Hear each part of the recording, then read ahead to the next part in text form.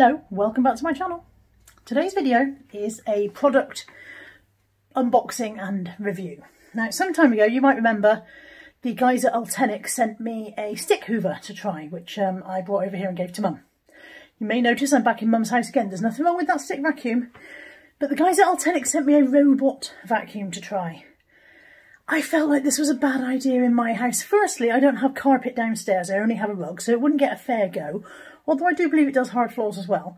But secondly, I felt like Molly would kill it immediately. So I brought it over to Mum's to try out. Now, Mum doesn't want to keep the robot vacuum because I think she's worried it would be a trip hazard for her. It might hoover her up when she's wandering around. So I think the idea is that we're going to try it and then we're going to give it to Lainey, who's doing a charity raffle. So I hope that whoever wins it won't mind that it's been tried. I've got to try it because that's what the guys at Ultenic wanted me to do. But it will go then to a to a good cause afterwards. Mum, off camera. so we're going to have a look at what's in the box, unbox it, and set it going while we're out and about, and see if it's done a good job when we come back. So here is the box of alternatives, one of Mum's crochet squares there, I'll move that. Here is the box from Ultenic with the uh, robot hoover in it. There will be links below the video in case you want to check out one of these for yourself. Let's have a look at what's in the box.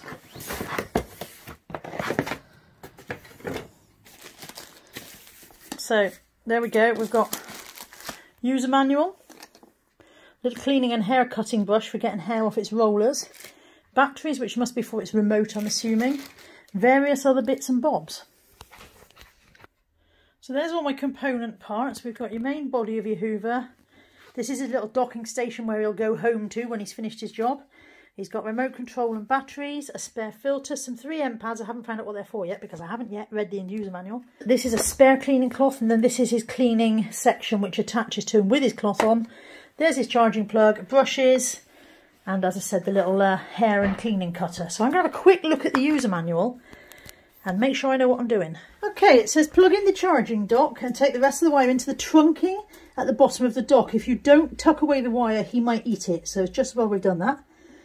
Place the charging dock on a hard level surface and against a wall. I don't know if the carpet is going to be a hard level surface, but it's all he's getting today, so let's hope he's okay with that. Uh, make sure the base is open and uncluttered. He's supposed to have two metres clear in front of him and one metre on both sides. I don't think there's anywhere in Mum's house where I can achieve that. I'm afraid we might be bodging this because none of Mum's plug sockets are a metre away from another wall, so can't be helped. Okay, attach the side brushes to the bottom of the robot by pressing, pressing a brush, brush into each slot. Right, this is side brush, yeah? Natalie's got the side brushes and she is pressing a brush into each slot. It does say please make sure the indicator light is on when charging dock is plugged in, otherwise the robot can't be charged. And we definitely had, yeah, we have got an indicator light, that's the green light on the top there. Got the one, one, one really easily, this one I don't want to.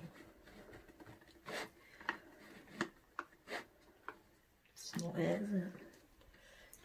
I wonder if they're different ones for different, let's say, shoulder. Like. Is it just two?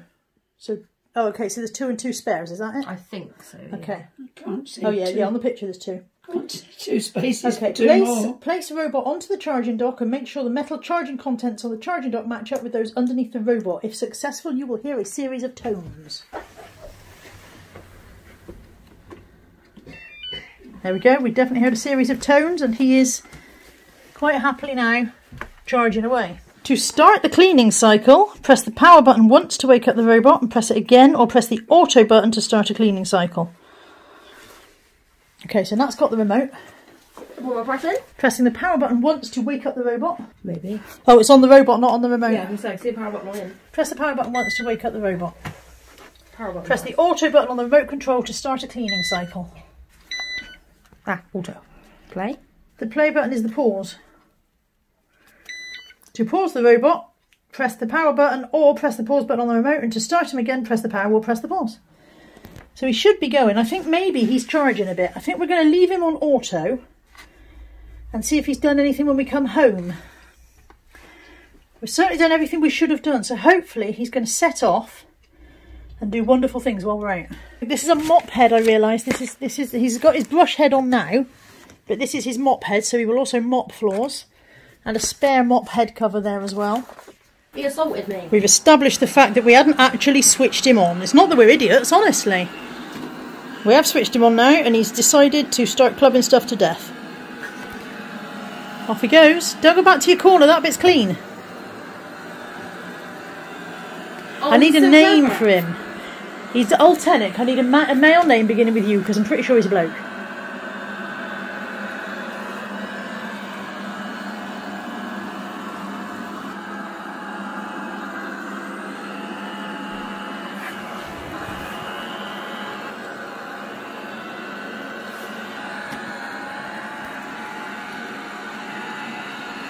Uriah. Uriah, as in Uriah Heep from Charles Dickens. That's what popped up on Google. Uriah seems a bit mean. Uriah Heep wasn't a very nice bloke. Or Ulysses.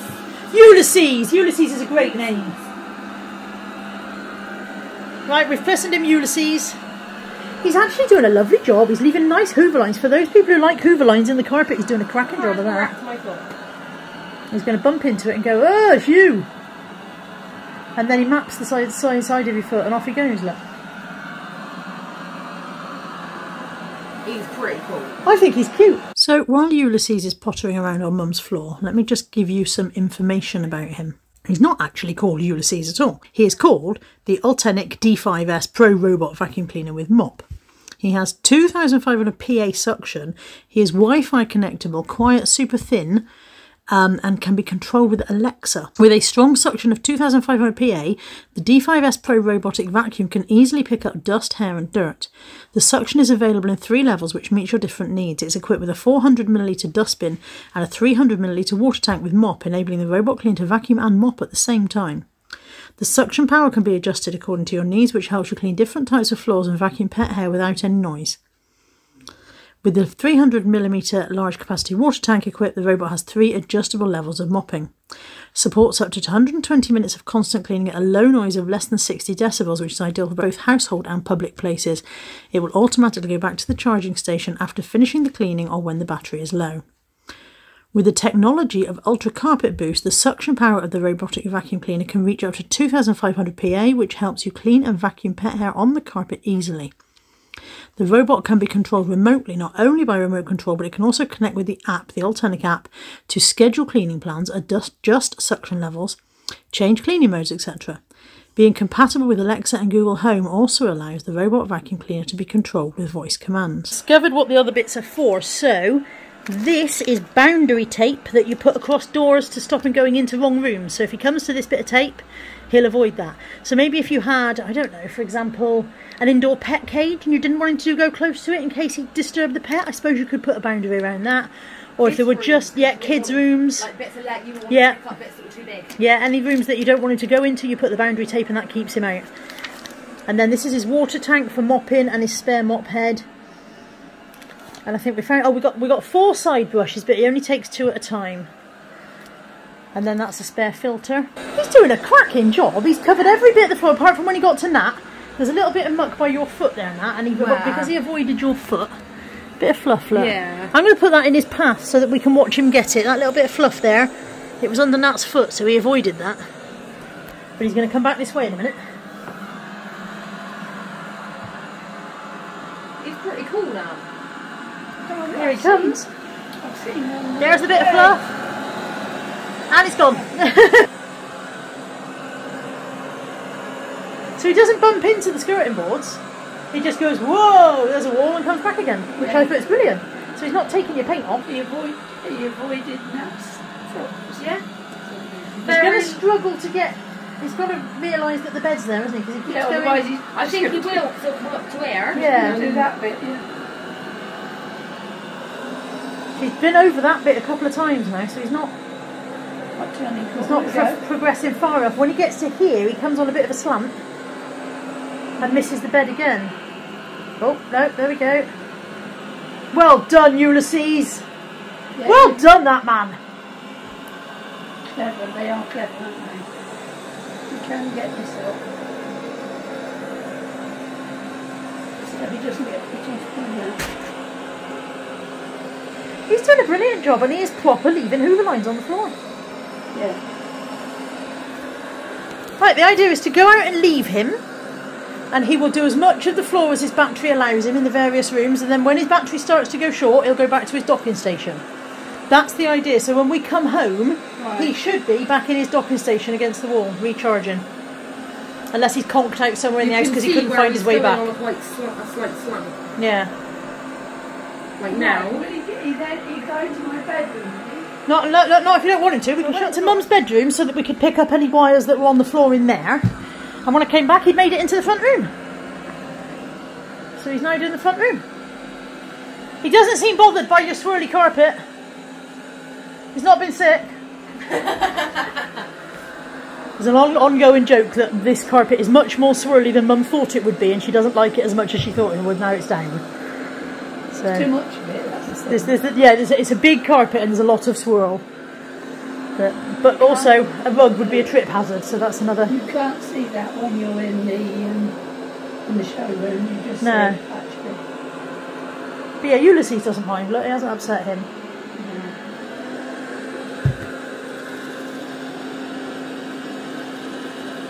What you doing with it, So he's quite clever.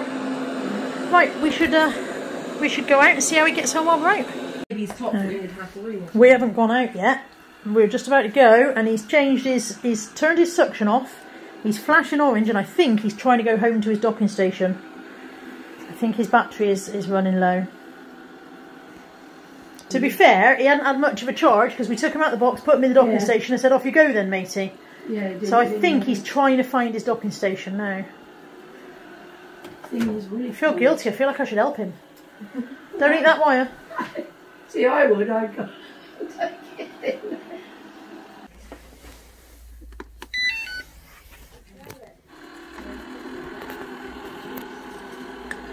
I've got to be honest, he had trouble getting back to his docking station, but I want to take the responsibility for the fact that we have put his docking station in a corner where it wasn't meant to go. You're supposed to have two metres clearance at the front and a metre either side. So I think that's our fault that he couldn't find his docking station, bless him. He's going to sit there and recharge, and I'll be interested to see when I come back if he's set off again or whether he's just stayed there and recharged all the time we were out.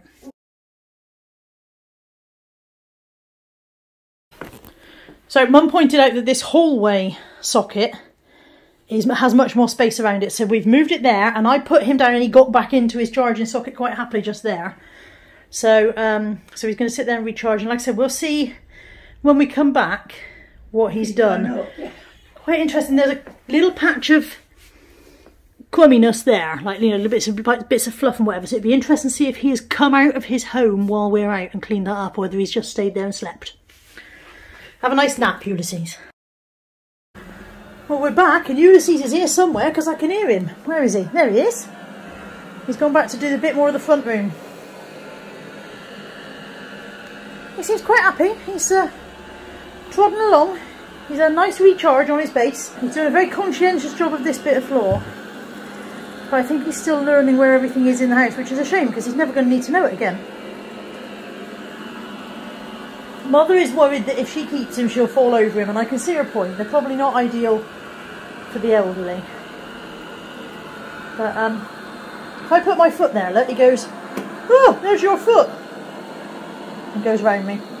He goes back the other way.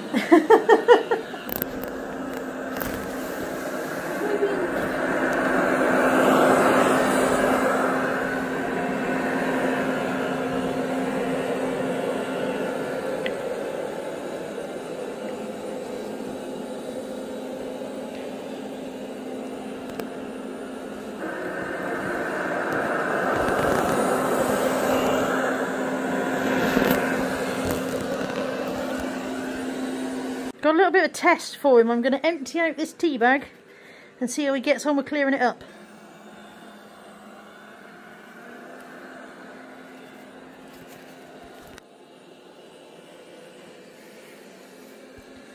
There we go, he's off.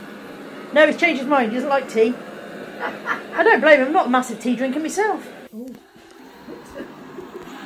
There he goes. Um, That wasn't bad for a first sweep. So he's not going to get it all on the first go because his brushes are on the side, so he's got to go over it a couple of times. yeah. But I would say he's already picked up 50% of it and he'll go Yeah, over I that several times. So he's, he's taken 50% of it. Here he comes again. Is he I think you might miss it this time. You missed it that time, Ulysses. Not me. I think he's after me.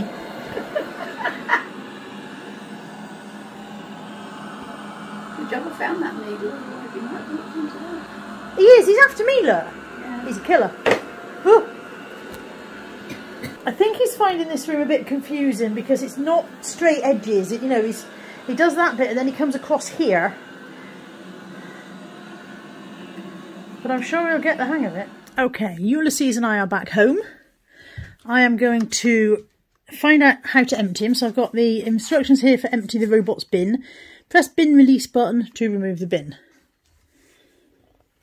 His bin is on the side. I can't see because I've got the wrong specs on. That's not helpful, is it? If I'd looked carefully, I'd have seen that there's instructions on here as well. Take off the dustbin, shake off the garbage on the filter, open the... Oh. I'm reading it the wrong way. Take off the dustbin, open dustbin, pour out rubbish. Open the dustbin cover and take out the filter. Shake out the garbage off the filter. Clean the dustbin, dustbin and filter with a clean brush. Rinse the dustbin and reinstall the filter and dustbin after drying them. Okay. First I've lifted up the brush cover because I want to clean the stuff off the brush. And that just lifts out, I believe. Yeah, that just lifts out. I'm going to clean that.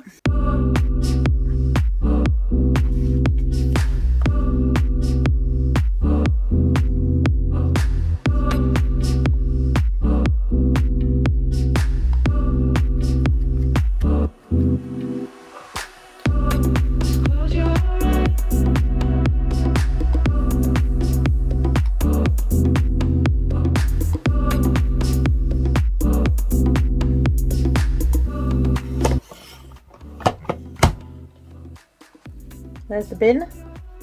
Press the button on the top to open it. And there is Ulysses' little collection of carpet fluff. And quite a lot of tea leaves, to be fair, out of that tea bag that I tested him with. I think he did pretty well, really. Like I said, Mum's floors aren't particularly grubby. A lot of this is just carpet fluff. Take the filter out the top. There isn't any major bits of debris on there. That's pretty clean. And then you can brush this bit out with the little brush.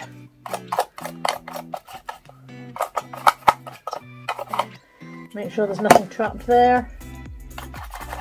Both sides.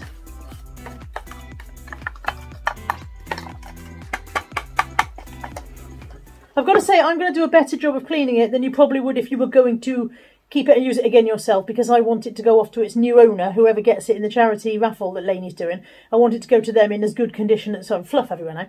in as good condition as I can send it. You probably wouldn't need to clean it to quite the extent I'm going to if you were going to keep it yourself and use it yourself. But let me just show you from above. That's what Ulysses collected, and I think he's done a pretty good job. Quite a lot of carpet fluff.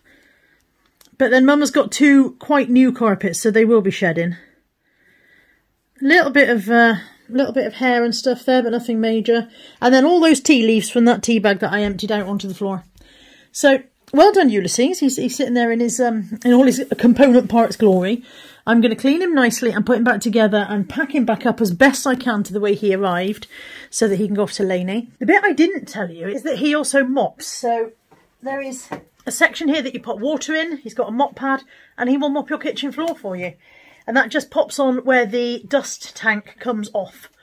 So he's a multifunctional little being. I'm quite um, quite impressed with that. Thank you so much to the guys at Ultenic for sending me Ulysses to play with. I've had great fun playing with him. I wish I could keep him if I'm honest, but Molly really would destroy him at any given opportunity. So um, yeah, this house is not fit for a robot hoover. And like I said, Mum was just a bit wary. Mum's a bit wary of anything new anyway, so she was brave enough to let me try it, but she's not brave enough to live with it.